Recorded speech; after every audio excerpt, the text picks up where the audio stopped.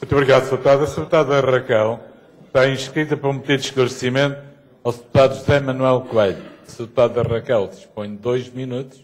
O. Deputado José Manuel Coelho dispõe de um minuto. Faz favor. Obrigada, Sr. Presidente, senhoras e senhores deputados. A ditadura salazarista acabou, mas alguns resquícios desse passado sombrio tendem a, tendem a ressurgir uh, sob novas formas. E, infelizmente, a justiça tem-se mostrado, um, um, tem mostrado o seu braço armado.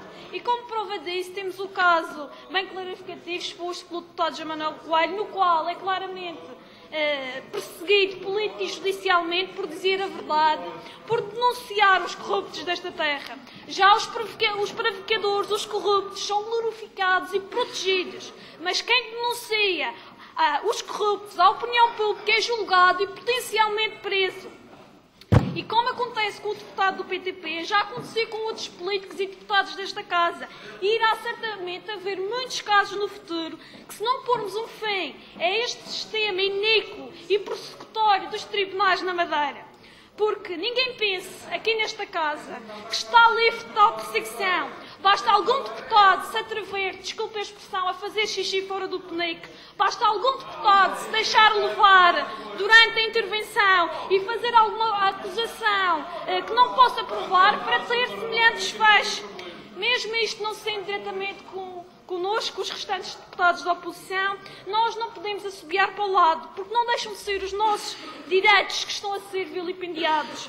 O próprio Estatuto Político e Administrativo da Região Autónoma diz que os deputados não respondem civil, criminalmente ou disciplinarmente pelos votos e opiniões que emitirem no, no, exercício das suas funções. Mas, infelizmente, estas imunidades só servem para os deputados do PSD, que podem dizer o que bem entendem, como é o caso da senhora deputada Rafaela, que foi processada por nós por calúnias e, por calúnias e injúrias e a senhora juíza do tribunal achou que isso não tinha pertinência porque ela preferia tais declarações nos exercícios da sua função de deputada. Já os deputados do PTP, isso não se aplica, são julgados e condenados a uma pena suspensa. Terminou o tempo, Sr. Deputado. Pronto. Obrigado, Sr. Deputado José Manuel Coelho, para responder. Disponho de um minuto. Obrigado, Sr. Presidente, senhoras e senhores deputados. Realmente a senhora deputada Raquel Coelho tem razão e a pergunta é pertinente. A justiça aqui na Madeira tem dois pesos e duas medidas. Os ladrões e corruptos do regime jardinista são protegidos. Aqui a senhora deputada Rafaela Fernandes acusou o meu grupo parlamentar de sermos ladrões do dinheiro da, da subvenção. É, mentiu dizendo que o, o senhor deputado Rocha era meu cunhado. O nosso grupo parlamentar fez um processo civil contra a senhora, um processo civil por danos. Gastamos 1.800 euros em custo de tribunal. A senhora doutora juíza Miquela de Souza arquivou o processo. Desde que a senhora deputada falou no, no, exercício das suas funções de deputada, que não podia ser condenada, nem civicamente.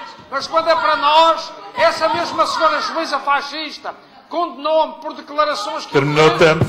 Também no, nos, nos, nos meus direitos de deputado. Portanto, esta justiça é uma justiça vergonhosa, uma justiça nojenta, fascista, reacionária, que tem dois pesos e duas medidas, que envergonha o Portugal democrático, o Portugal de Abril, meus amigos.